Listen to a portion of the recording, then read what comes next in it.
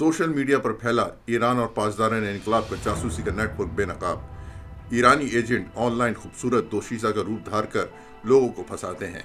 ईरानी पासदारान इनकलाब के एजेंट जासूसी के लिए समाजी रबतों के प्लेटफॉर्म का इस्तेमाल में मुलवस।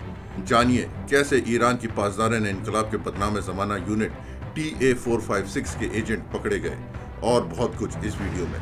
तो दोस्तों, जैसा कि आप जानते हैं कि आजकल का दौर सोशल मीडिया का दौर है।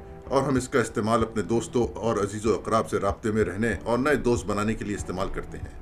सोशल मीडिया पर नए लोगों से तारुफ की बुनियाद, सच और अतमाद के रिश्ते पर होती है और हम उम्मीद रखते हैं कि सामने वाला शख्स, औरत जो अपने बारे में मालूम फराम कर रहा है, वो दुरुस्त है।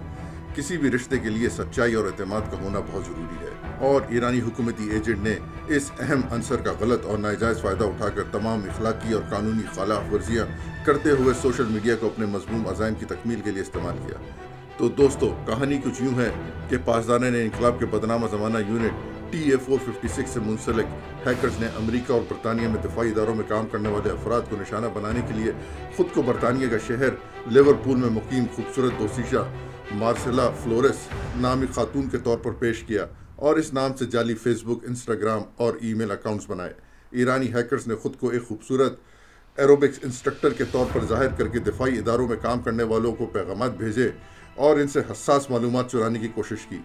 इस बात के इंकशाफ समाजी रबतों के प्लेटफॉर्म फेसबुक और cyber security company Proofpoint ने अपनी एक तवील तहकीकत के बाद बेनकाब किया। फेसबुक और प्रूफ पॉइंट ने कहा यह तहकीकत और इसके नतज इस बात को साबित करती है कि ईरानी हुकूमत जासूसी में मुलवस है और इसके झेली इदारे, इसके प्लेटफॉर्म पर गैर कानूनी और गैर अखलाकी सरगर्मियों में मुलवस पाए गए हैं और इन्होंने इनके नाफिज करदा कवायद और जवाबित की खिलाफ वर्जी की है। दोस्तों, cyber security firm Proofpoint ने इस घटिया हरकत के पीछे मुलवस अफराद की शनाख्त ईरान पासदाना ने इनकलाब के बदनामा जमाना unit T A four fifty six के तौर पर की है, जिसका काम ही मुख्तलिफ़ प्लेटफॉर्म्स पर अहदाफ के साथ ताल्लुक इस्तवार करने के लिए महीनों या सालों इनसे बातचीत करता है और इन्हें खूबसूरत लड़कियों की तस्वीर और वीडियोस भेजकर फंसाता है।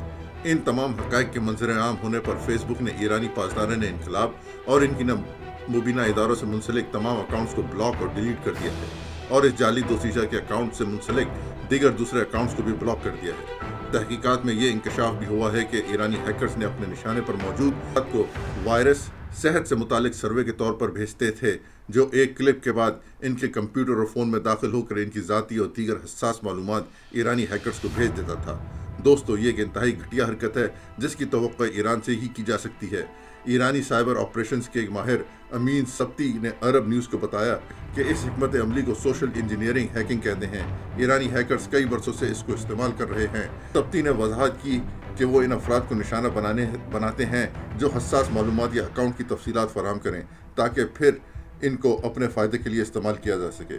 और चौंकि वो ईरानी सरजमीन से काम कर रहे हैं, इसलिए इन्हें हुकूमत की रजामंदी हासिल है। दोस्तों, इन तमाम मालूम को आप तक पहुँचाने का हमारा मकसद आपके सामने पासदारा ने इनकलाब के इस मकरू चेहरे को बेनकाब करना था। हमें उम्मीद है कि इस वीडियो से आपकी मालूम में इजाफा हुआ होगा और आप ईरानी हैकर्स की जाल से बच पाएँगे। हमें अपनी कीमती आरा से आगाह कीजिए। शुक्रिया।